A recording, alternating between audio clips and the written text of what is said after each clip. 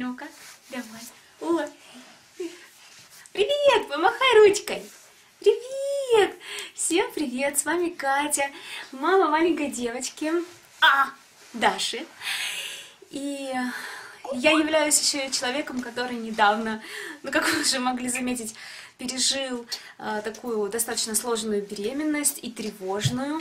И я очень переживала, волновалась, у меня был очень сильный страх потерять эту беременность. И так как я все-таки смогла его преодолеть, я знаю, как это трудно, и хочу поделиться с вами своими, так сказать, методами по преодолению страха. Итак, как же себе помочь в период страха потерять беременность? Ну, во-первых, и в самых главных, постараться себя не накручивать, чтобы вот эта тревога, она как снежный ком не нарастала, не нарастала и не становилась такой огромной-огромной, потому что когда вы находитесь в ситуации страха и в ситуации стресса, у вас вырабатываются гормоны этого самого стресса, и находитесь в такой ситуации не вы, а еще и малыш, который не представляет, он еще не знает, как справиться с этим э, стрессом, и только вы здесь можете помочь ему, поэтому просто думайте о своем малыше, что все будет хорошо, как это не банально звучит, все будет хорошо, потому что какая бы ни была сложная беременность, в большинстве случаев, вот скажу на своем опыте, потому что я 6 месяцев лежала на сохранении и видела всякие-всякие разные беременности там, и в большинстве случаев, в огромном проценте этих случаев, эти беременности э, заканчивались потом хорошо. Я с девочками поддерживаю отношения и знаю, что детки родились, и все у них благоприятно сложилось. Сейчас медицина э, очень э, хорошо развита, и врачи знают, как помогать беременным доносить эту беременность благоприятно, и чтобы все закончилось родами. Следующий немаловажный момент – это нужно постараться как можно меньше сидеть на всяких там женских, мамских и будущих мамских форумах про беременность, где зачастую очень-очень много негатива сливается. То есть все, что они переживают, какие стрессовые ситуации у них случаются, они все сливают туда. И, и я по себе заметила, как только я начинаю вот это все читать, я себя накручиваю, а это все может произойти со мной. Да нет, зачем же? У меня совсем другая ситуация. Со мной это вообще не произойдет. У меня все будет хорошо. Вот таким вот образом себя настраивайте и не смотрите вы, что они там пишут.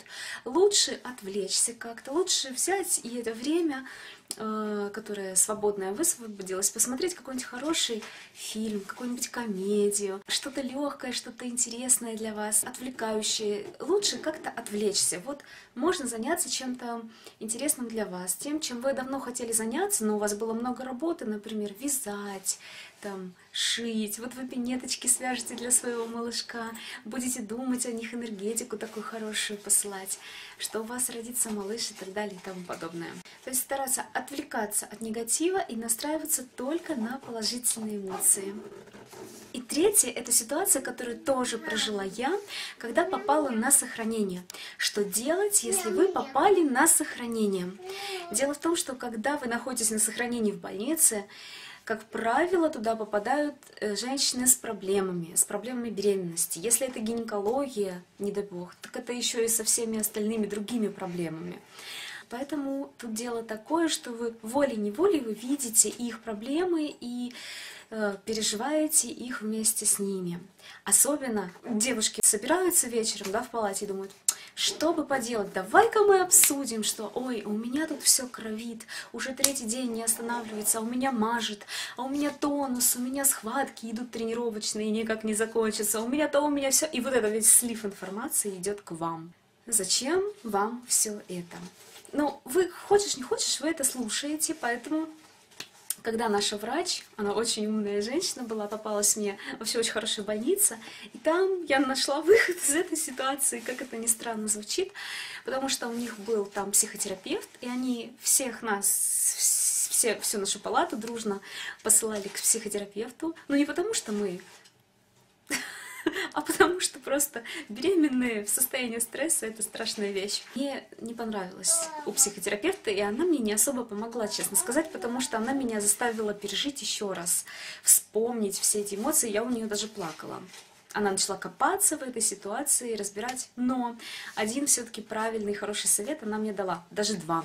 И вот я вам их тоже передаю. Самое первое, Она сказала, что проводились исследования среди больных, и выздоравливали те, которые э, лежали в больнице, и лежали они около окна и смотрели на небо, как плывут синие облака, а еще лучше, если они при этом рисовали небо. Так вот, такие больные выздоравливали гораздо быстрее, чем те, которые лежали там у стеночки в середине и не видели небо, не видели природу. То, то есть, если вы уж попадаете в больницу, занимайте коечку у окошка.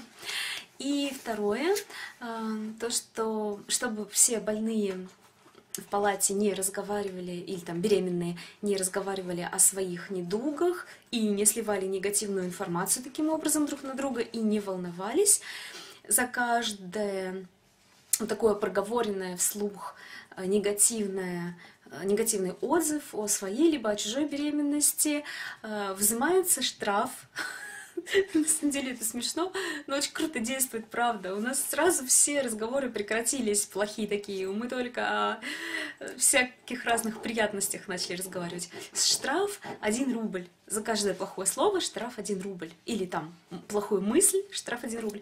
И потом все эти рубли собираются в одну копилку дружную, и всем покупаются, девчонки покупают в буфете бананы, и едят эти сладкие бананы, которые вообще сами по себе сладость, она же способствует э, хорошим эмоциям, выработке там эндорфинов и так далее. Мы так и сделали. Это действует, реально действует. А я еще, наверное, посоветовала, чем мы будем перемывать вот этот весь э, негатив, что у кого там что болит. Мы лучше будем учить э, например, какие-нибудь стишки для своих будущих детей или пальчиковые игры. Вот, кстати, одна интересная пальчиковая игра, которую я выучила именно будучи беременной. Мне сейчас очень хорошо пригождается. Всех помощников опять надо быстро сосчитать. И этот брат дрова рубил, и этот братец щи варил, и этот брат готовил кашу на семью большую нашу, этот веником махал, чисто-чисто подметал, ну а этот маленький спал у нашей Мня-мня-мня. Так что можете скачивать пальчиковые игры, можете скачивать стишки, частушки, прибаутки, сказки, которые вы будете с детьми потом рассказывать. Можете делать там, оформлять какой-нибудь альбомчик, какую-нибудь книжку для будущего ребенка, вязать ему пинетки, шить. В общем, настраивайтесь на то, что вам нравится, что вам приносит удовольствие. И желаю вам хорошо и удачно доносить вашу беременность и родить здоровенького малыша. Надеюсь, вам мои советы были полезны. Если да, то ставьте пальчики вверх. Подписывайтесь на мой канал. Э, ну все, пока.